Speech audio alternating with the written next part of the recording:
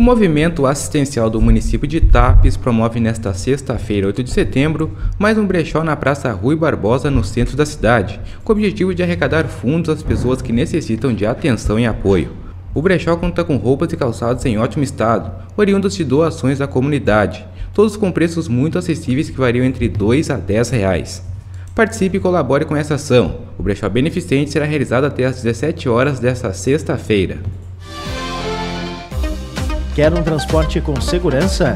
Venha para Limatur Transporte Escolar, Fretes e Viagens. Entre em contato 9992 1257